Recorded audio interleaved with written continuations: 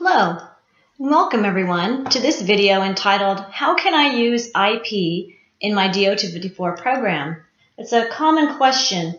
Um, I put this video, a short video together based on a white paper I've written called Assuring Compliant and Cost-Effective Use of IP in DO254 Designs. Uh, my name is Michelle Lange and I'll be talking through the slides over the next few minutes. Just as a basic introduction or overview, um, what we're seeing today is that the growing availability of silicon real estate, in other words, just the capacity of today's chips, um, enables more and more features in smaller and smaller devices. That's pretty obvious to anyone working in the electronics industry.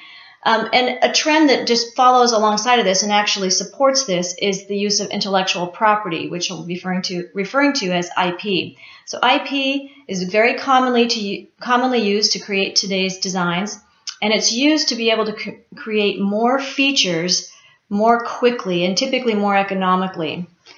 Now, even the aerospace and defense markets are starting to use IP, but unfortunately, there's there's roadblocks to the use of IP, and this can mean certification policy, and simply business models that are creating these sorts of barriers.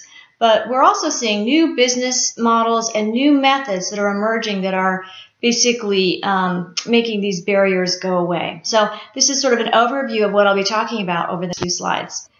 Let's talk for a minute about the, the rising uh, usage of IP in today's designs and the factors that are driving this um, upward trend.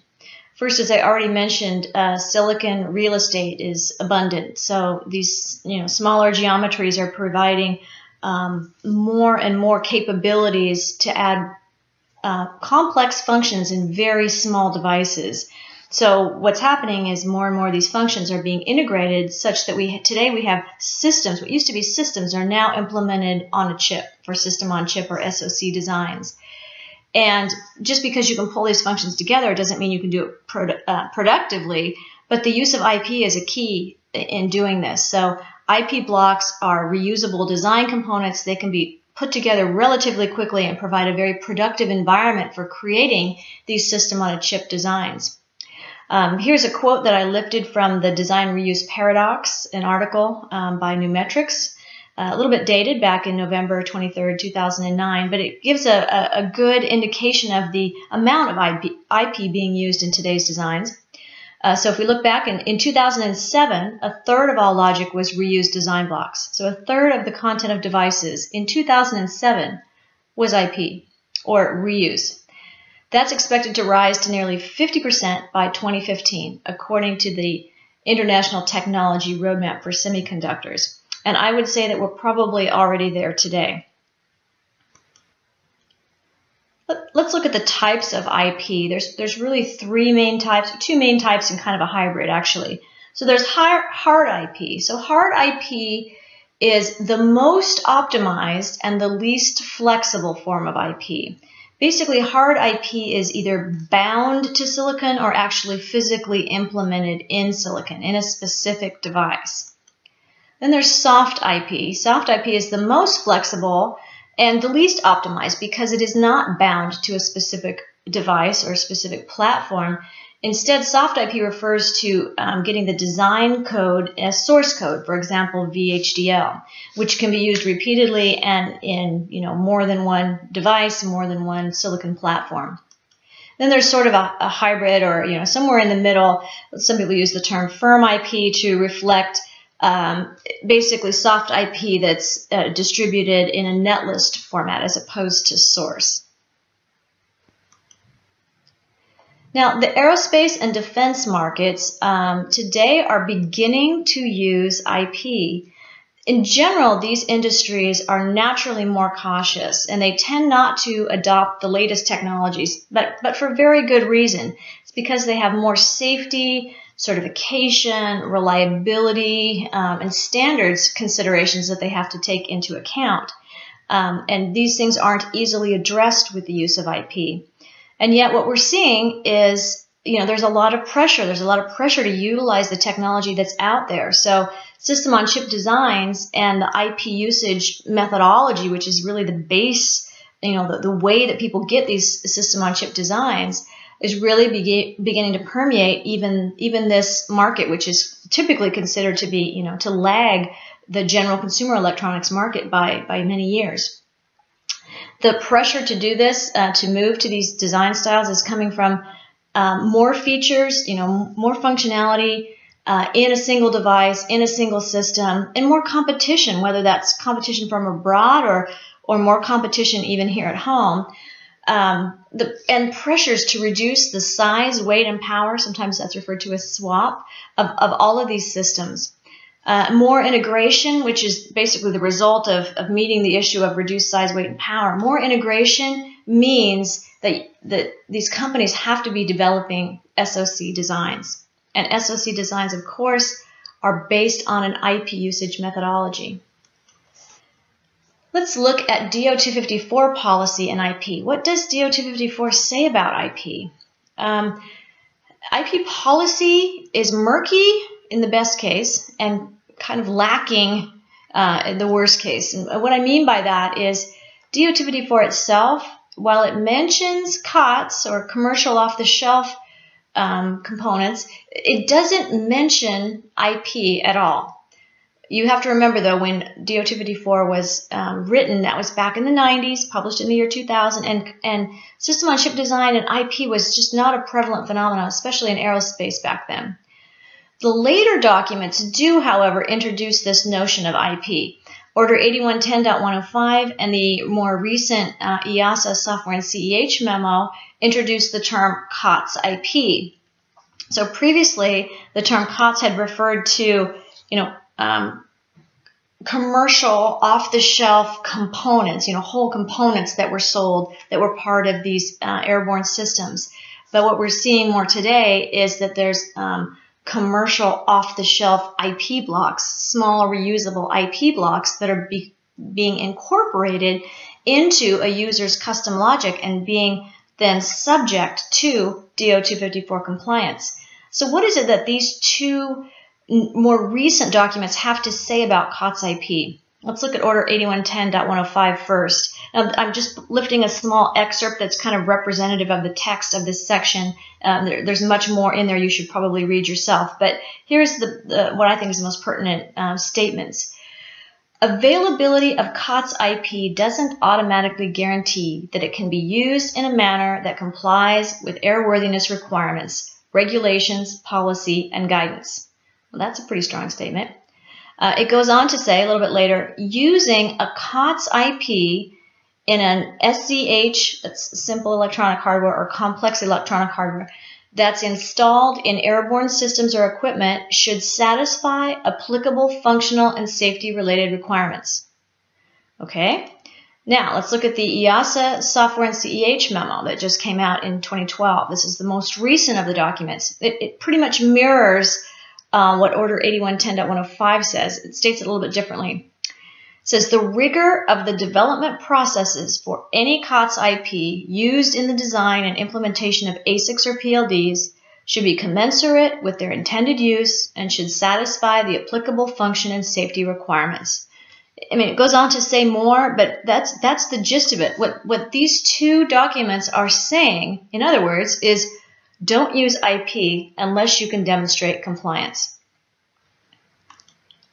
Now, of course, the best way to demonstrate compliance would be to actually have DO254 compliant IP.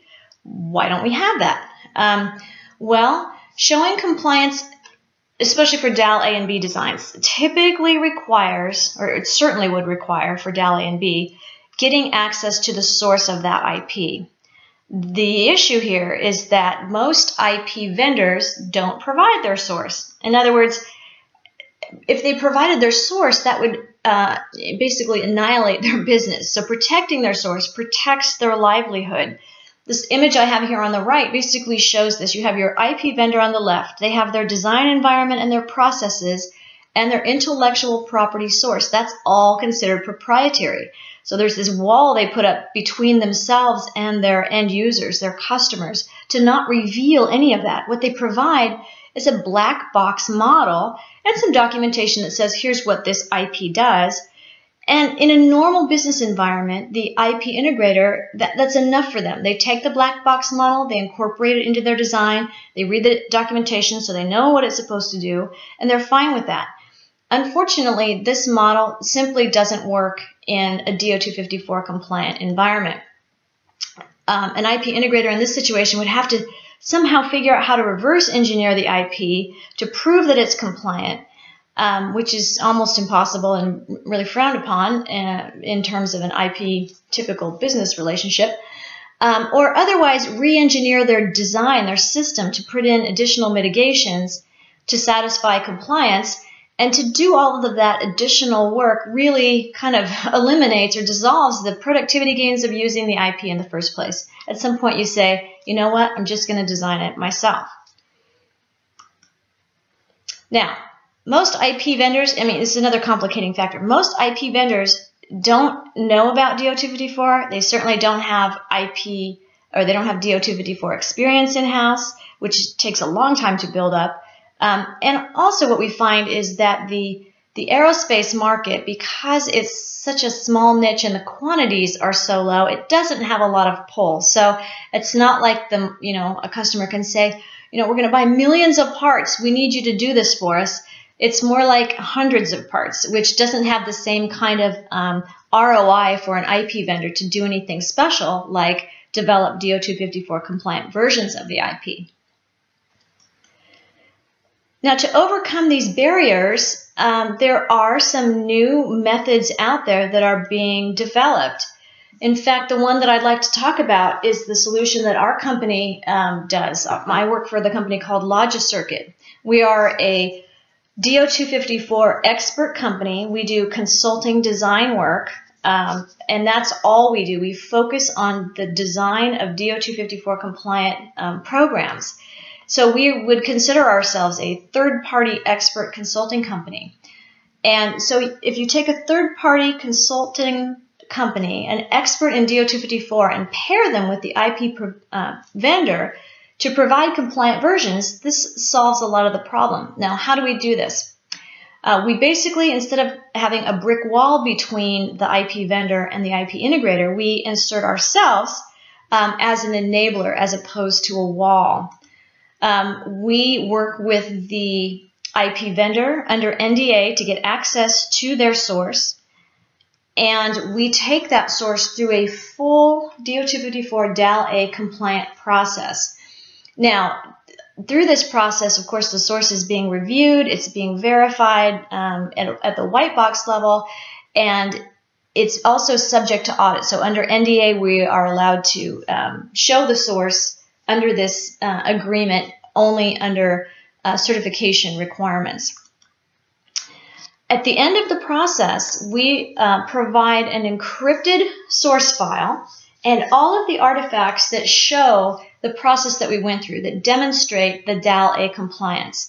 And this whole package, the certification data package, is what we provide the IP integrator who can then use the black box model along with the certification artifacts incorporate that into their design, and be able to demonstrate that the design assurance aspects of it, the airworthiness aspects, to the certification authorities so that it can be used in aircraft design.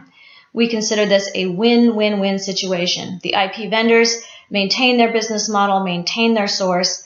LogiCircuit uses their expertise and provides or enables the IP integrator to have a cost-effective method for using this IP in a very um, safe and efficient manner for aircraft design. So how do you learn more about this? How do you learn more about IP in general and the policy and your options? Because this isn't your only option. This is one that I would like to present to you though. What I'd suggest is reading those pertinent policy documents. Read what's in DO254, read how it talks about COTS IP. Then look at Order 8110-105, read what it has to say, and also look at the EASA policy memo, even if you're in the U.S., because um, the EASA memo is the most recent, and I believe that the FAA will probably be coming out with something that um, aligns with that in, in other regards um, pretty shortly. Do your homework on the use of IP. Remember that warning um, from the policy. Don't just use it because it's available. Uh, so if you are considering the use of IP, make sure you have a strategy for how you're going to show compliance before you opt to use it in your design. Very, very important. Um, to learn more about what LogiCircuit can offer, um, visit logicircuit.com. Uh, again, just download the white paper assuring compliant and cost-effective use of IP in DO254 designs from the resources area on this site. Uh, this video presentation was a very short version of the content that's presented in that um, white paper. And uh, while you're there on our site, you can examine our catalog of uh, 40 plus DALA compliant IP cores. If you have any questions about this, feel free to contact me. My name is Michelle Lange. You, I can be reached at michelle underscore lange at logicircuit.com. Thank you.